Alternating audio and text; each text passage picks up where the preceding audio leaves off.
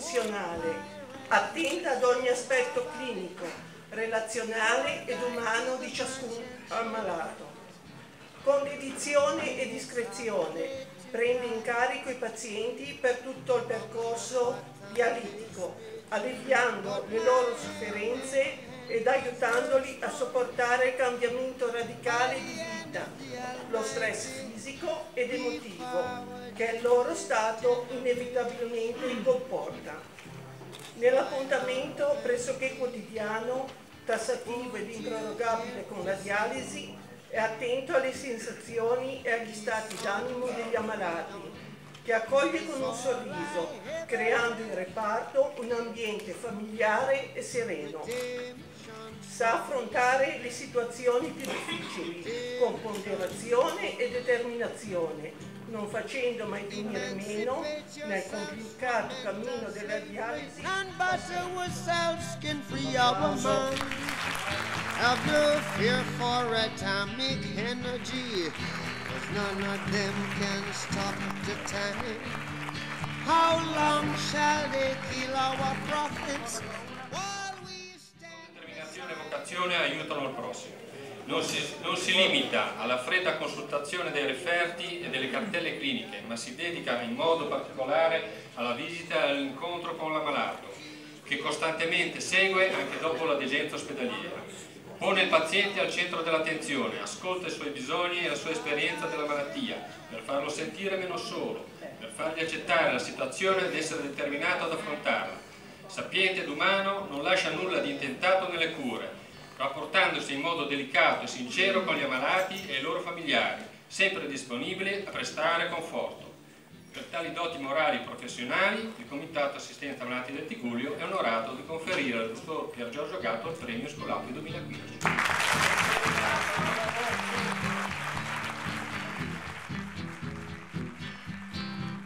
Emancipate yourselves from mental slavery. Un saluto a tutti, ci ritroviamo per il 26esimo Esculapio d'Oro 2015 del Comitato Assistenza Malati Tigulio Onlus Lavagna. Giancarlo Mordini è presidente, anche quest'anno avete centrato le due persone premiate. Ancora una volta sono due persone che hanno riscosso grandi consensi, sia l'infermiere caposala eh, il signor Pappi che il dottor Pier Giorgio Gatto. Quindi noi quando abbiamo i consensi per noi va molto bene, quindi mh, siamo contenti e facciamo i complimenti e soprattutto eh, queste due persone sono da stimolo eh, per, tutte, per tutte le persone che lavorano nella sanità. Ci troviamo al Gran Castel di qua a Sesti Levante, ma come fate ogni anno a trovare due persone così brave in gambe? Vuol dire che all'ASL 4 insomma Beh, sì, mm, ci sono le segnalazioni. Noi riceviamo segnalazioni dalle persone, annotiamo e poi facciamo le nostre valutazioni. Naturalmente facciamo le nostre indagini e mm, se vanno bene procediamo a queste nomine. Dottor Pier Giorgio Gatto.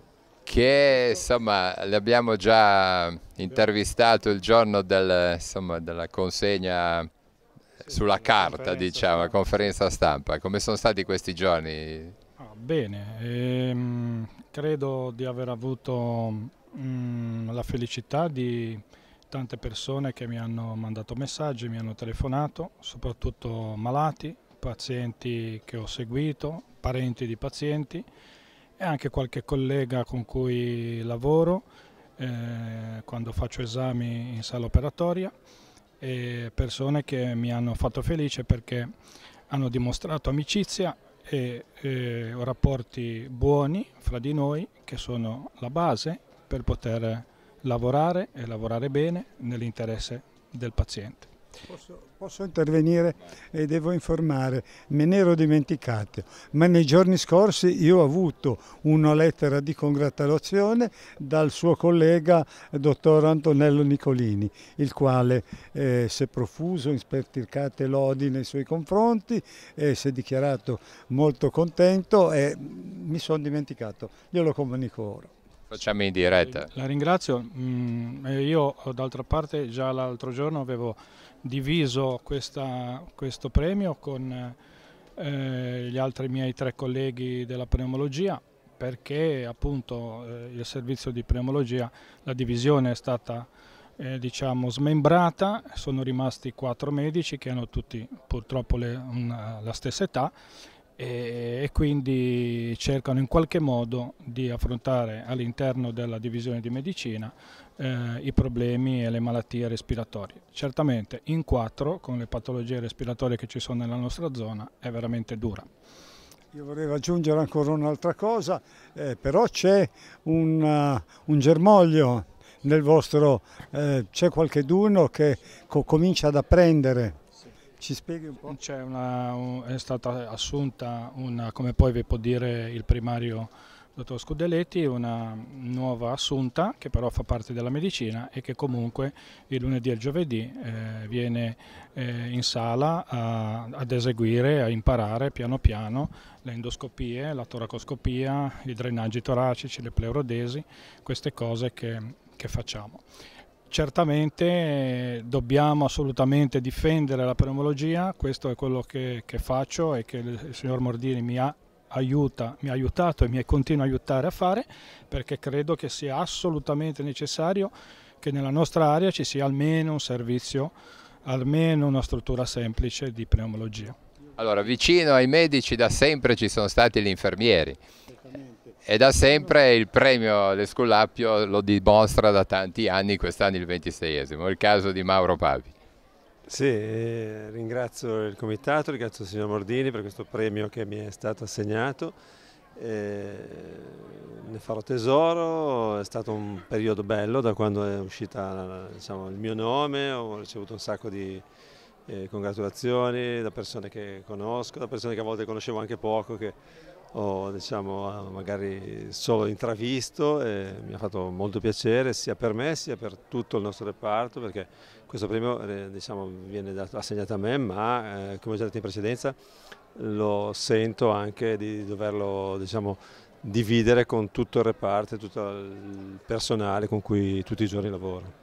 Vedi il Papi, l'amico Papi, il figlio dell'amico Papi è un, ha un ruolo importante ma anche molto pesante ed è particolarmente meritevole perché sono quanti anni sono che tu lavori in dialisi? In dialisi sono 22 anni. 22. Ecco, 22, ai 22 anni ci si logora in questo reparto.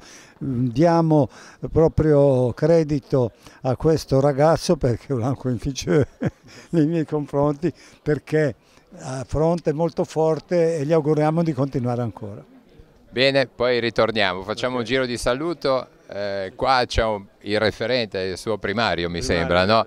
Allora diciamo una parola su, sull'infermiere Papi e un pochino qualcosa su, sul vostro reparto, se si Levante. Ma io sono veramente felice di questo premio per Mauro perché è assolutamente, come dicevo nella conferenza stampa, meritato. Il nostro è un lavoro abbastanza complicato su pazienti cronici purtroppo, anziani, molto fragili, quindi l'aspetto umano che è un po' anche la ragione di questo premio è assolutamente importante. E Mauro, a parte le capacità tecniche, ha una, grossa, una grande umanità. E quindi questo ci fa anche lavorare meglio, un ambiente assolutamente sereno e molto importante, quindi è proprio meritato. Se dovesse proprio scrivere una cartolina da reparto vostro, cosa scriverebbe? Per Mauro? No, per tutto il reparto. Un voto, insomma, nell'immaginario. Nel per, il, per, il, vostro reparto? Per il nostro reparto? Ah, un bel voto, sicuramente un, una buona, un, un 8, 9. no. fra, fra 50 anni sempre qui. Assolutamente. Noi cerchiamo sicuramente, come diceva Mauro, di migliorare e penso che l'entusiasmo ce l'abbiamo, quindi siamo, sono contento. Tra l'altro lei ho capito che è la persona che insomma, quando si va a fare un'analisi è la prima che scopro, gli viene qualche dubbio che poi bisogna procedere, da lì inizia un percorso credo a volte eh, lunghissimo. Eh? Lunghissimo no, però impegnativo e importante da sopportare anche per la paziente. In pensione, insomma, lei è ancora giovane, come ha fatto ad andare in pensione? Eh, ho lavorato da giovanissimo e ho colto l'attimo perché non si sa mai con l'aria che tira. E chi ha lasciato in eredità? Oh, I miei colleghi di prima, mh, amici e validi professionisti. E si sta bene in pensione? Si sta molto bene e mh, volevo ringraziare Mordini per, per avermi invitato perché per me comunque è come se fosse un premio alla carriera. E un medico in pensione continua un po' sempre a fare il medico o no? Sì, se, se vuole, sì, io faccio qualcosa, mh, poco, perché poi se uno fa delle scelte poi deve essere conseguenziale direi, eh, però può fare quello che crede, certo. In questi giorni leggevo qualcosa sui medici di famiglia, se non vado errato, proprio in questi giorni. Assolutamente sì. Sì, si è parlato perché finalmente è stato firmato l'atto di indirizzo fra le Stato e le Regioni e quindi si prevede un progetto di riorganizzazione della medicina generale, ma io qui vorrei parlare della serata. Intanto eh, ringrazio chi mi ha invitato, Mordini, perché sono davvero onorato di essere qui come, come ospite, ma soprattutto sono eh, ehm, felice di essere qui per Giorgio e, e, per Mauro che conosco da tantissimo tempo. Mauro credo che abbia cominciato a fare l'infermiere quando io facevo l'interno in medicina, eh, eh, ma soprattutto perché? Perché eh, nel nostro, nella nostra ASL abbiamo la fortuna di avere un ambiente dove più o meno ci conosciamo e quindi il rapporto fra territorio e ospedale è quello che è un, un quel, qualcosa di più che da altre parti non hanno. Quindi telefonare in pneumologia e sentire gatto perché ho un, un problema con un mio paziente di pneumologia per me è avere davvero um, le spalle coperte come per quanto riguarda la dialisi eh, anche a Rani piuttosto che Mauro e per altri reparti. Quindi il discorso della medicina generale è quello, la collaborazione fra ospedale e territorio. Per finire mi sembra che insomma, il medico di famiglia, soprattutto chi magari pensa di studiare o di farlo un domani, sia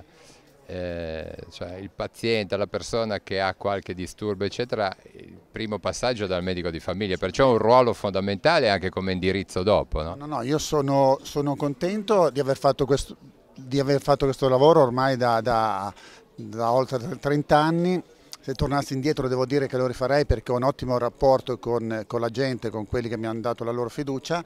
Siamo effettivamente primo, la prima porta del Se sbagliate voi? Eh, quello è importante, quello è importante e soprattutto sono orgoglioso di, di, tra virgolette, senza voler peccare di presunzione, di allevare dei medici che vogliono fare il medico di famiglia, perché credo che sia un ruolo molto importante.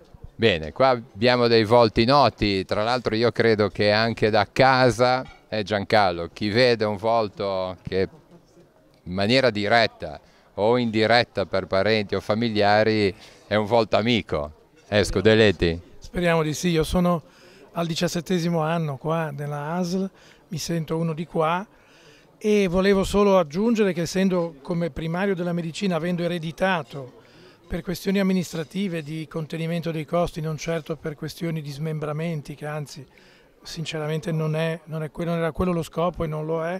Abbiamo fuso la medicina e la pneumologia, stiamo lavorando bene, hanno un loro spazio, io non ho prevaricato assolutamente, ho cercato di dare a chi voleva fare di fare e Giorgio devo dire al di là di tutto che l'avete premiato come medico, come uomo, come, e si comporta con i colleghi come si comporta nella vita, come è logico, cioè con molta disponibilità, se c'è un problema si risolve insieme, ha dato disponibilità per dare una mano alla, alla, alla parte medica del reparto che è molto pesante, perché per avere i letti pneumologici abbiamo un carico comunque distribuito su tutti e quindi devo dire sono veramente contento e ci tenevo a dire senza togliere niente a nessun altro dei miei collaboratori che lui proprio umanamente ha dato sempre la sua disponibilità sincera e, e vera e senza, senza nessuna remora. Ecco, questo credo che lo meriti. Tra l'altro il reparto di medicina e pneumologia, di là che adesso collaborate anche come spazi, ma c'è sempre una collaborazione,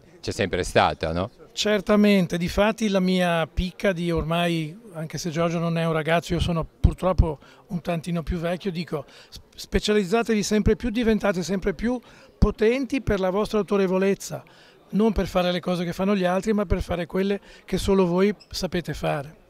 Questa è la chiave. Ok, poi facciamo ancora un saluto. Giancarlo, qua il dottor Mori ha una specialità particolare, molto importante. Certo, è un chirurgo addominale, chirurgo proctologo, è, un, è una pedina molto importante nel nostro. Applica tra l'altro una tecnica particolare, no? Per, eh, spieghi un po' la, la sua Ma tecnica. Io sono un chirurgo della chirurgia di lavagna che da tanti anni ormai eh, si dedica tantissimo alla colonproctologia.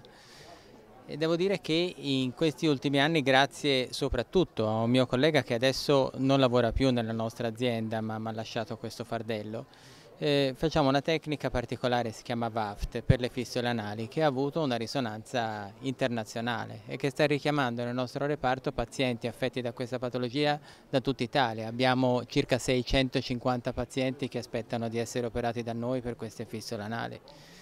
Eh, Io in questi ultimi anni sono andato a far vedere questa tecnica a operare in India, negli Stati Uniti, è stato un bagno così di, di- di- di- apertura sul mondo, però sempre fuso con questo rapporto bellissimo che ho avuto con la popolazione qui da cui sono stato adottato da 17 anni e con la quale io toscano mi sono trovato veramente benissimo. Qua si parla di fughe. Sai come si dice qui? O la beviu l'egua da scimea. Giancarlo, sì, ha capito. Giancarlo, si parla di fughe spesso no? dal nostro comprensorio della Liguria. In questo caso un esempio che bisognerebbe investire e tirar fuori l'eccellenza. Esattamente, esattamente, è questo che bisogna fare. Bisogna vendersi bene. Perciò Invece- bisogna che in questo momento, anche nel nostro comprensorio a livello Regione Liguria, si sta parlando di sanità, qua dovrebbe essere un ramo verde di guadagno. Certamente. Questo la- l'assessore alla sanità l'ha detto. Eh, vediamo che se viene messo in pratica, cioè le eccellenze devono partecipare in tutta la Liguria, se c'è un'eccellenza anche dalle- la- dal ponente più lontano deve usufruire di questa eccellenza e così, eh, e così via, e al contrario anche. Bene, allora dottor Mori, abbiamo scoperto questa eh, internazionalità. La parola è il figlio del dottor Gatto. Il figlio del dottor Gatto, come ti chiami? Francesco. Allora, Francesco, andiamo un po' vicino al papà, venga un po' il papà. Eh, in effetti vi assomigliate anche un pochino con la barba. eh? Allora, avere un papà medico impagnato così tanto. Guarda, io posso dire che ehm, essendo nato negli anni in cui lui ha cominciato il suo operato all'interno dell'ospedale, tutto, diciamo che sono cresciuto con lui e comunque ho potuto vivere proprio dal, diciamo, dal vivo il suo, il suo crescere all'interno del suo lavoro. Direi che diciamo, passione e dedizione sono sicuramente le qualità che più lo hanno contraddistinto in questi anni. Sicuramente magari più che saperlo da lui lo vengo a sapere da altri perché chiaramente ogni volta che magari la gente mi incontra mi dice ma tu sei il figlio del dottore, ah che bravo e tutto, insomma ehm, attestati che comunque ti inorgogliscono e sicuramente penso sia molto gratificante ricevere un premio così che penso che non sia solo un punto di arrivo ma dato che dovrà lavorare ancora qualche anno voglio dire penso sia sempre un incentivo a migliorarsi, questo funziona anche per me per quanto riguarda la mia vita, perciò io lo prendo da spunto e Tu cosa fai nella tua vita? io vendo macchine da, dai Ah, vabbè, ma la passione bisogna anche- mettercela facciamo sempre, Facciamo anche no? un po' di pubblicità. La passione bisogna mettercela sempre, certo. Magari mi può rimproverare che magari ho dedicato troppo, troppo tempo al lavoro e, e poco alla famiglia. Succede, no? Questo sicuramente me lo possono rimproverare i miei figli e mia moglie. Un flash, eh, Pier Giorgio. Ehm, da piccolo cosa pensava di Volevo fare? fare il medico. Voleva fare Il medico, sì. Ma non il pneumologo oppure sì? No, ave- ve- veramente avevo ehm, diciamo, frequentato i primi anni la divisione di urologia di San Martino. E, mm, mi sarebbe piaciuto fare il chirurgo, non è stato possibile poi per vari motivi, però con- riesco comunque a fare un- diciamo, degli esami e quindi sempre una pneumologia interventistica che mi appassiona sicuramente. Volevo chiedere all'infermiere premiato se da piccolo lei cosa pensava di fare? L'infermiere? Eh, no, direi di no. no, no, è arrivato poi quasi diciamo, per caso, eh, mi ci sono trovato, spinto dai miei genitori così all'inizio e poi pian piano come tutte le cose comincio a farle, mi sono trovato, pian piano ho cercato di, di, di migliorare e, e, poi il via, diciamo, la differenza è stata quando poi sono andato in dialisi che ho cominciato a fare questa attività diciamo, un po' particolare, un po' diversa da, dal solito reparto ospedaliero classico, io ho lavorato anche parecchi anni in medicina e, e da lì poi ho fatto un caposala, ho fatto un po' di, sono avanzato un pochino. Ecco. Ci trasferiamo anche a Rapallo in ortopedia, lei primario da poco credo. Eh sì, da tre mesi, da quasi tre mesi circa. Posto del dottor Desirelli. Desirelli, esattamente, sì, un bel impegno, eh? una bella eredità sicuramente. Insomma si parla tanto di ospedali, compreso quello di Rapallo, lei la prima impressione cosa può dire?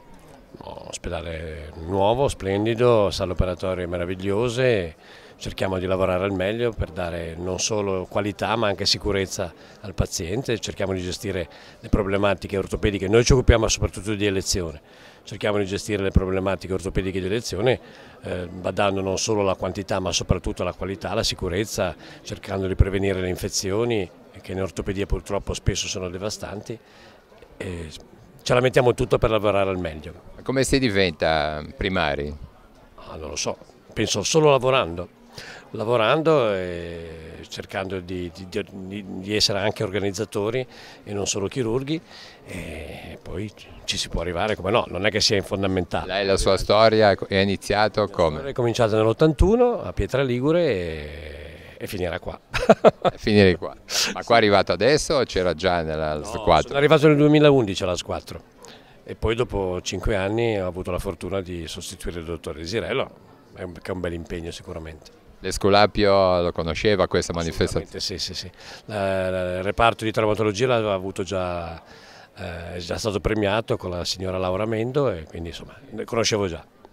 Bene, andiamo allora da Rapallo andiamo a Sestri, totalmente in un reparto diverso. Eh, eh? Sì, sì eh, l'oncologia, la nostra struttura ha una, diciamo, una vecchia tradizione perché sono molti anni che sta offrendo un servizio estremamente importante eh, al Tiguglio. I pazienti che afferiscono a noi sono sempre numerosi e noi stiamo cercando di portare avanti questo lavoro di eh, aiuto, di, oltre che di, di, terapia anche proprio di presa in cura a 360 gradi del paziente dal punto di vista medico ma anche da, proprio anche come supporto psicologico, come percorso diciamo, eh, nel contesto proprio sociale della famiglia.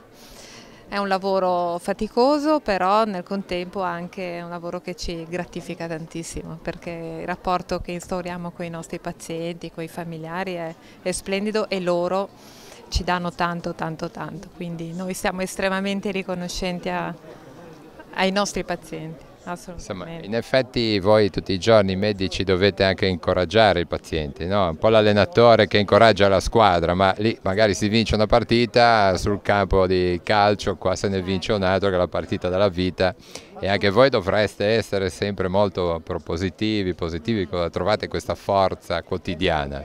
Ce la danno tantissimo loro, noi eh, abbiamo la forza perché ci viene dall'esperienza e ci viene anche dalla conoscenza di nuove terapie che ci sono e che continuano a esserci, perché effettivamente eh, nell'oncologia ci sono stati dei salti giganteschi. E, ehm, e, quindi tutto questo ci porta anche a proporre eh, nuove, nuove terapie, quindi nuove possibilità al paziente. Nel contempo devo dire che loro stessi ci danno un aiuto, quindi è un lavoro di squadra che poi porta tantissime volte a un buon risultato. Non solo ASL 4 ma questa sera abbiamo anche insomma, delle illustri genovesi. Sì, beh, io sono stato quattro anni qua in AS 4 a Santa Margherita Ligure, un'esperienza bellissima e mi sono trovato molto bene e quindi mi fa molto piacere tornare sempre qua perché è un ambiente stimolante. Da Santa Margherita al Galliera? Sì, io venivo dal Galliera, sono andato a Santa Margherita, sono tornato a casa al Galliera, adesso faccio il direttore sanitario, mi occupo di tutt'altre cose che non la clinica e stiamo cercando di arrivare addirittura d'arrivo per fare l'ospedale nuovo. Ecco, ma domandiamogli un po' a che punto è questo ospedale nuovo, perché c'è un po' che si sente parlare, la scorsa giunta metteva delle zeppe e dei bastoni nelle ruote e questa ha dato via libera, com'è la questione? Sì, beh, eh, la Regione è fortemente intenzionata a fare l'ospedale, quindi sicuramente lo faremo. Eh, siamo in conferenza dei servizi che finisce il 19 di maggio, dopodiché possiamo passare all'appalto. Ecco, quindi tempi di... Cantierizzazione possiamo pensare fine anno questo, inizio anno prossimo. Ma eh, gli intendimenti come sono? Eh, normale amministrazione o curare le eccellenze e curare eh, per esempio la neurochirurgia che era un fiore all'occhiello e che bisognerebbe rinforzarla. Ci sono dei giovani lì da voi, tipo Calfas e compagni, che sono meritevoli, dargli fiducia a questa gente. Neurochirurgia, chirurgia vascolare, chirurgia maxillofacciale sono i fiori all'occhiello insieme con la radioterapia ed altri reparti. Sarà un ospedale come è adesso di alta specializzazione dove le grandi specialità devono trovare sempre maggiore sviluppo e delle personalità mediche e non solo mediche capaci di portarlo avanti. Bene, allora, Sciumego, è vero o no? Sciame di che tutto. Lei mi sembra che ormai cura a un certo punto, cura non tanto studiando ma con l'esperienza del sapere, di tanta esperienza. È vero o no? Il medico può ragionare così o no? Dunque, direi che sicuramente l'esperienza aiuta, però eh, la medicina è, è una scienza così vorticosa che non hai, tu non, un mio vecchio professore diceva che non riusciva a leggere tutte le pubblicazioni migliori sulla tiroide, solo sulla tiroide, quindi figuriamoci la vastità di tutte le materie della medicina. Però eh, un po' bisogna studiare, tanto o poco bisogna trovare il tempo di studiare, perché poi il tuo sapere medico ogni sei anni diminuisce di mezza, e do, do, dopo dieci anni vinti non c'è niente, se tu non ti... Eh. Era questo forte e chiaro che bisogna studiare eh, anche da tutte le parti. Il dottor Bugiano è stato un gran medico e continua a essere un gran medico perché all'esperienza aggiunge sempre lo studio continuo. Ricordiamo un po' la pressione giusta qual è in questo periodo? Adesso in questo periodo, perché anche lì ci sono eh, dei cambiamenti. In questo periodo la pressione giusta è eh, per una persona di età media 140 80 e non deve essere di più. Nell'anziano stanno perdonando, cosa che non facevano gli altri anni, un 150 e nel novantenne anche il 160 di massima. Ed estate? Eh beh, d'estate cala un po', un po', a volte cala in modo anche abbastanza vistoso, soprattutto nei soggetti ipotesi. D'estate ci può essere una pressione molto bassa che può dare fastidio, però camperanno cent'anni. E ancora un diciottenne, la pressione quant'è? Il eh, diciottenne è a 110, 70, 105, 70, insomma è abbastanza bassa. La pressione è alta? Ha le arterie nuove, quindi elastiche. Quindi. Bene, dai. Eh, ci salutiamo, un augurio ai due premiati. Certamente, certamente, due persone magnifiche, sia l'infermiere sia il dottor eh, mio amico Gatto. Bene, grazie. Allora Giancarlo, chiudiamo, eh? chiudiamo, ci salutiamo tutti insieme, salutiamo il dottor, il dottor Gatto, l'infermiere Papi.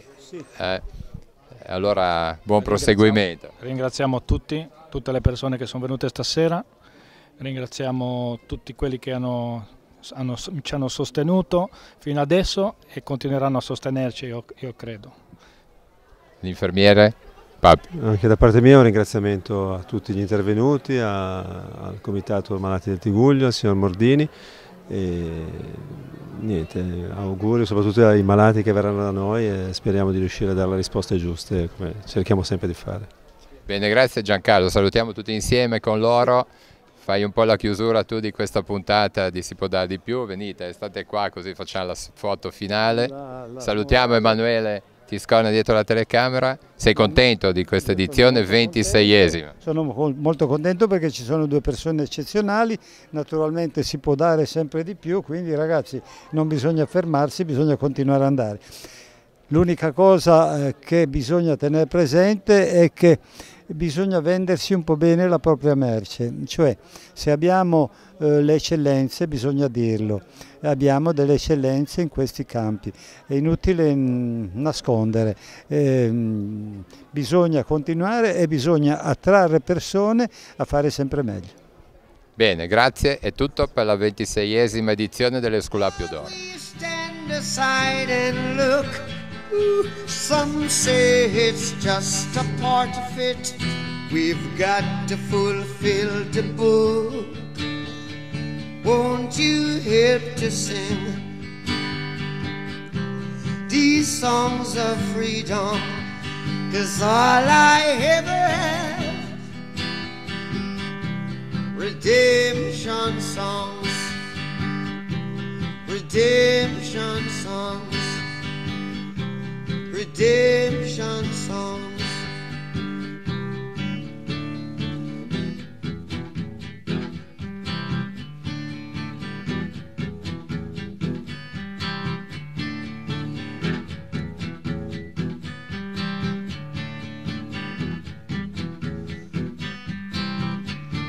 Emancipate yourselves from mental slavery. None but ourselves can free our mind. Oh, have no fear for atomic energy, cause none of them can.